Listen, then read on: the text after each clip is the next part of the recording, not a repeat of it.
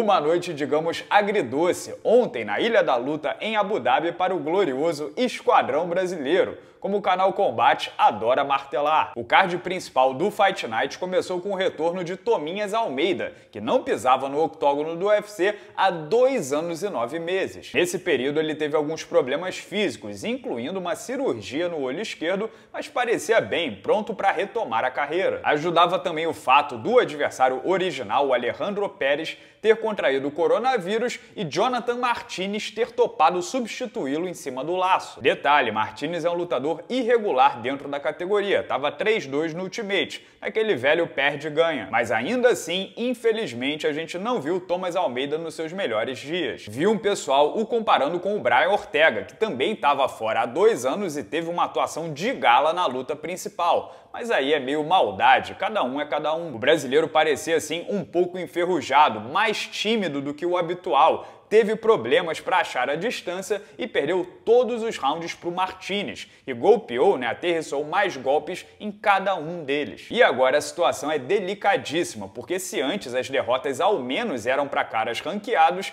agora é para alguém de meio de tabela. A última vitória do Tominhas foi em 2016, são três derrotas consecutivas, quatro nas últimas cinco lutas, o que basicamente força ele a lutar pelo emprego na próxima rodada. Aí é aquele lance, entra uma pressão extra depois de tantas lesões, num momento de dúvida, né? baixa confiança e etc. O trabalho forte agora não pode ser apenas dentro da academia, tem que ser psicológico também, porque ele segue sendo o mesmo cara talentoso de sempre, tem apenas 29 anos. É usar o sabor amargo da derrota como combustível e focar de corpo e alma para conseguir a virada. Ver uma promessa desse quilate sucumbir à má fase, à falta de confiança, é uma coisa que tenho certeza que nenhum de nós quer. Então fica aqui o meu desejo de boa sorte pro Tominhas. Quem caiu também foi Cláudio Silva, o Hannibal, que estava invicto em cinco lutas no UFC, né, tendo vencido inclusive o Leon Edwards em 2014. Ele também não teve bom rendimento, parecia até meio fora de forma em relação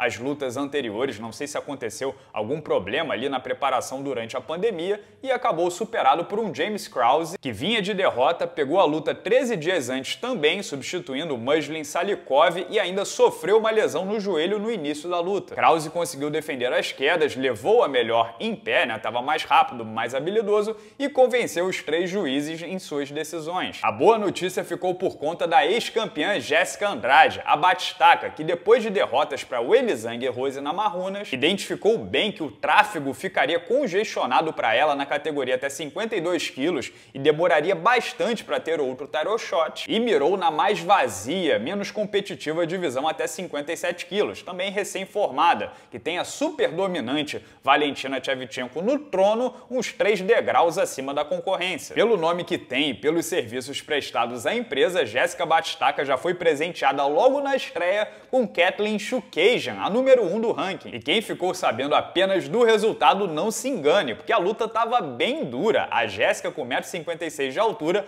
é baixinha até pro peso palha. A Shukajan, que tem 1,75m de altura, vinha levando a melhor no jogo da distância, conseguindo conectar mais. Seus joelhos também chegavam fácil no rosto da brasileira. E até quando foi quedada, sua guarda ativa ali mitigou um pouco a situação, né? Ela é muito boa de jiu-jitsu, treina lá na academia do Renzo Gracie em Nova York. Mas aí apareceu o que sempre separou a Jéssica da manada: a pegada, a potência, a força bruta totalmente incomum para meninas desse peso. Claro, tem a parte da técnica e da estratégia, até porque explorar a linha de cintura não é trivial para a maioria dos lutadores de MMA. Mas é muito impressionante como o primeiro soco no fígado fez a Shukajan, que em 17 lutas profissionais havia sido nocauteada apenas pela Valentina Tchevchenko, mudar completamente de expressão, como se tivesse visto um poltergeist, um fantasma, e instintivamente ter virado as costas como se fosse bater em retirada, quisesse fugir do octógono. Cruel, Jéssica botou outra mão dura no exato mesmo lugar e aí a americana se recolheu à posição fetal e chamou a mamãe. Vitória fantástica que, um, torna a Jéssica uma lutadora histórica dentro da empresa, porque ela foi a primeira mulher a vencer lutas em três categorias de peso, sendo que na próxima atualização do ranking ela provavelmente vai assumir a primeira posição. E dois, na pior das hipóteses, a brasileira já estará num Title Eliminator contra a americana Cynthia Calvillo, que é grappler.